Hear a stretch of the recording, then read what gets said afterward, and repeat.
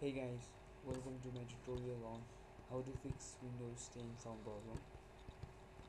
So I have been encountered this problem for many for many for many days and I searched for many problem solutions and at least I got a one and it's gonna sure work for all of you who is running Windows 10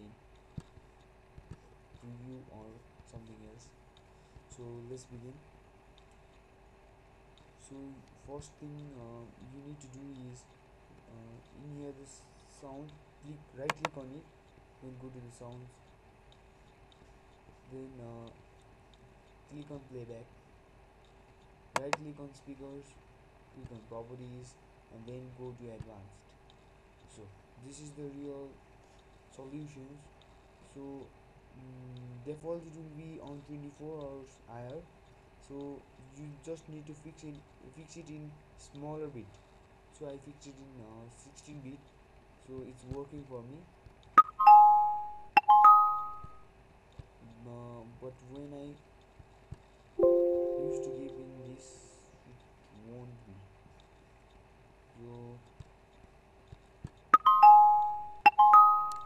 you see guys. So this is the solution to the speakers now for the microphone what you need to do is just opposite. In the um, what do you say that?